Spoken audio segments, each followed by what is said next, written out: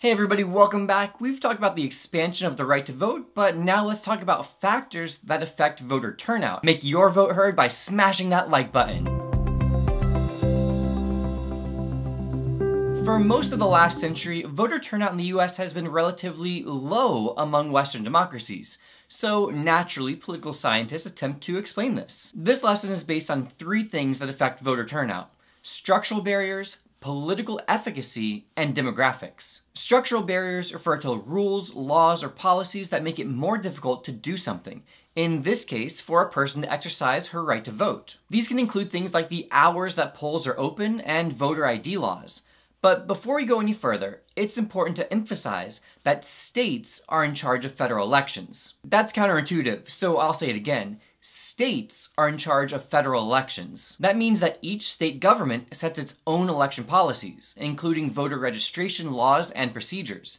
Some states make it easier, for example, automatically registering citizens to vote. Other states require people to register themselves, but this can be made more convenient by allowing them to do it online, or it can be more difficult, for example, by requiring people to register in person. States also get to make their own procedures on how, when, and where to vote. At least 46 states have early voting opportunities, allowing citizens to vote in person between 10 and 40 days before the election. The idea being that this increases chances for people to vote and therefore increases turnout. Similarly, there are differences in absentee and mail-in voting opportunities. Some states send everybody a mail-in ballot, while others have more strict requirements on who qualifies to vote by mail. Additionally, some states have implemented stricter voter photo ID laws, while other states have not. Essentially, some states require voters to show an official photo ID to be allowed to vote, while other states have no such requirement. If you remember the 2020 election at all, then I shouldn't need to tell you that there is a debate raging over voter fraud and voter suppression. Typically, advocates of voter photo ID laws emphasize the goal to stop voter fraud, stop people from casting illegal votes, while opponents argue that the real goal of such laws is voter suppression, to prevent people who legally can vote from exercising their right based on a technicality. In the aftermath of that election, even more states have made stricter election and ID laws. There are still other differences, like differences in funding for polling places and poll workers. At times, there are allegations of polling places in some areas being poorly funded or understaffed, leading to long lines that critics claim are designed to intentionally dissuade people from voting. Similarly, states determine the hours that polls are open, and things like whether independent groups can provide food and drink to people waiting in long lines. Again, all these policies have the potential to affect voter turnout, which can influence who wins elections. It's also true that the type of election greatly affects voter turnout as well.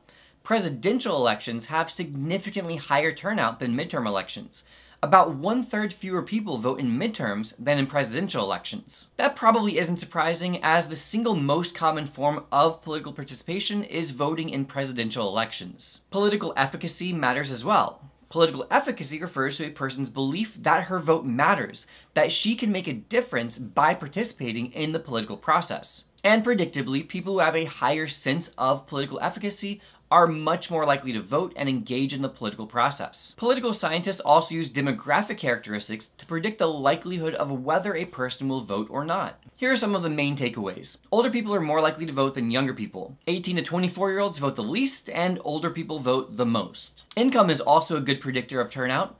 People who earn higher levels of income are significantly more likely to vote than people who earn less. Similarly, education matters as well. The more educated a person is, the more likely they are to vote. Women vote at higher rates than men, but it's not a dramatic difference. And religious people are more likely to vote than non-religious people. Alright, and last up, we're going to talk about factors affecting voter choice meaning who people actually vote for. Please realize that everything we've talked about to this point has merely been things that make it more or less likely that a person will vote nothing to do with how they'd vote. Now we're looking at factors that predict whether a person would vote for Democrats or Republicans. The first one is kind of obvious, but the best predictor of how a person will vote is their party identification. Hard to believe, but if somebody says they're a Democrat, they probably vote for the Democratic candidates. And if they're a Republican, well, yep, that's right. They usually vote for Republicans. Closely related is political ideology. Conservatives often vote Republican, and liberals usually vote Democratic. Candidate characteristics also matter. This includes things like how honest or competent or likable a candidate is perceived to be.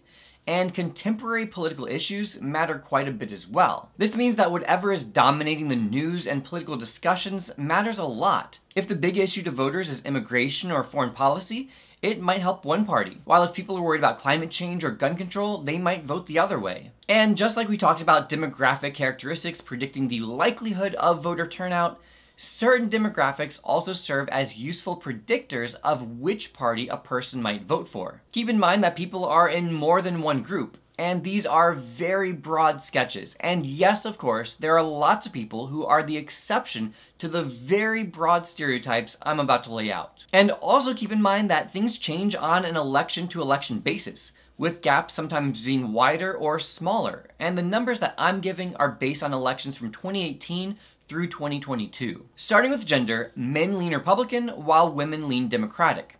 Between 48 and 54% of men vote Republican in a given election, while 51 to 58% of women vote Democratic. In 2022, 51% of women voted Democratic, while 48% voted Republican. So be super careful with these generalities, because sometimes the differences are much less than what stereotypes might suggest. Next, race and ethnicity. Black voters vote overwhelmingly for the Democratic Party, with over 90% support for Democrats. White voters lean Republican, with the GOP winning between 52 and 57% of the white vote. Non-white Hispanics support Democrats more often, but at lower rates than in the past. In 2018, Democrats won 72% of the Hispanic vote, while in 2022, that number was down to 60%. And super early 2024 polls show that trend may continue. An important footnote to all this is to remember that midterm elections usually favor the party out of power. Democrats did well in 2018, while Republicans did better in 2022. Some of this variance likely reflects differences in turnout as opposed to shifts in demographic party support. Age is another good predictor. 61 to 72% of younger voters voted Democratic, while voters over 50 lean Republican. The GOP wins between 48 and 55% of voters aged 50 to 64, and between 52 and 56% of voters aged 65 and older. Again, I'm guessing that's not as dramatic as some of you may have predicted. One of the real battles is geographic. Democrats dominate urban areas, Republicans dominate rural areas, so the battle is over the suburbs, with the suburbs bouncing back and forth between slightly favoring each party. And let's throw in religion, I mean, why not? People who attend religious services more frequently are much more likely to vote Republican. Getting to some specifics, white Protestants, and especially white evangelical Protestants, vote strongly Republican, to the tune of 81 to 86% of white evangelicals. Catholics are basically 50-50, and Jewish voters have historically been solidly Democratic, though those numbers are a bit down from peaks, with 68% of Jewish voters voting Democratic in 2022. And atheists and agnostics vote overwhelmingly Democratic. Alright, well, that's it for this one. Until next time, this has been a LaMoney production. Thanks again for watching. Be sure to smash that like button and check out the ultimate review packet. And I will see you in the next video.